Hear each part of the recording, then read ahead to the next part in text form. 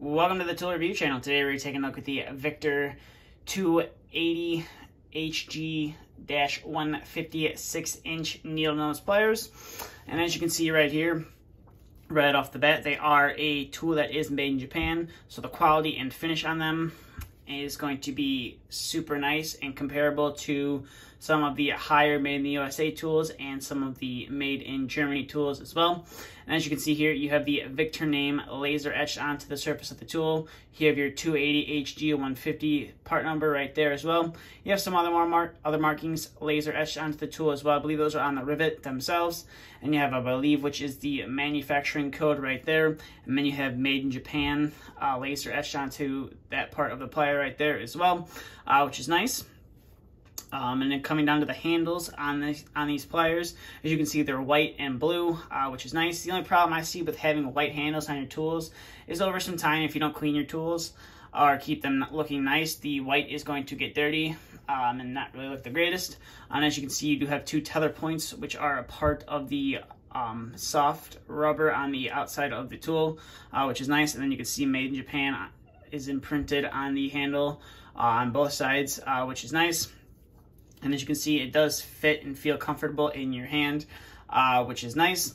And then you do have a nice cutter on these pliers as well. And you also have a stripper on here as well that does work fairly nice. And you have a little cutout opening right there with some serrated teeth on there. It kind of reminds me of a pair of combination pliers where you have that circular serration where you could, you know, if you needed to grip onto a bolt or a fastener and maybe loosen it or tighten it, that's what you could use that for right there at the top as well.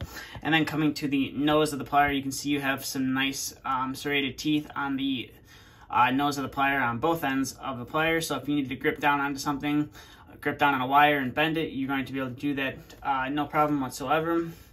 So now we'll go ahead and zoom out there and we'll get to some of the functionality of this tool. Um, so like I said, you had those serrated teeth on the nose of the pliers, which is going to allow you to get a nice grip on a wire. And as you can see right there, you have a nice wire and you are able to make a loop with that and there's no marring or anything left on the surface. And we'll go ahead and use that cutter on the on the tool as well. And as you can see, has no problem cutting through that solid wire right there. I believe that's 14. I believe that is 14 gauge solid wire. And now, like I said, this tool had a wire stripper. Now I do believe um, this is meant for 14 gauge solid wire. I could be wrong. It could be 16 gauge. I'm not too sure because when you get this tool, it comes in packaging that the writing is all in, I believe it's all in Japanese. And I obviously don't know how to speak the language or read the language, uh, so I can't read what this tool uh, can and can't do.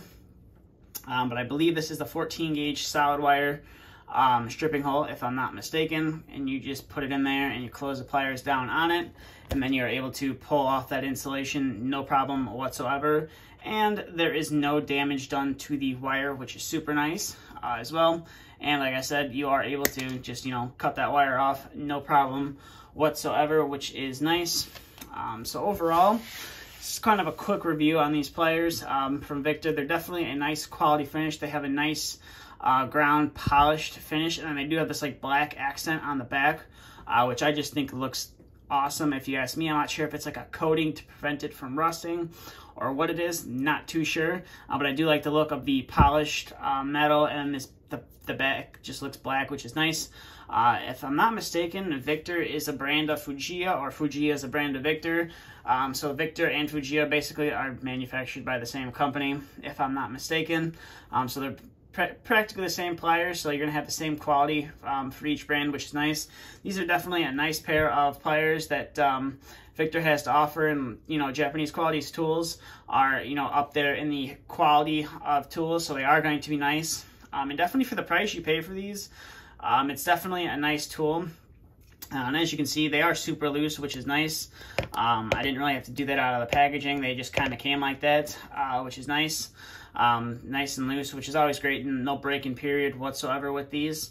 Um, so overall, these are definitely a nice pair of pliers from Victor. Um, definitely could highly recommend these to anyone looking for a pair of needle nose pliers uh, that is going to last them quite a bit of time.